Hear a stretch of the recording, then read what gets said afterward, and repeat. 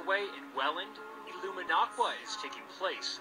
It's a blend of music, fire, and fountains, all set on the waters of the old Welland Canal. This is our seventh year, and it's the idea of mixing music with fire on the water. So that is an actual floating stage out on our canal, a recreational canal at this point.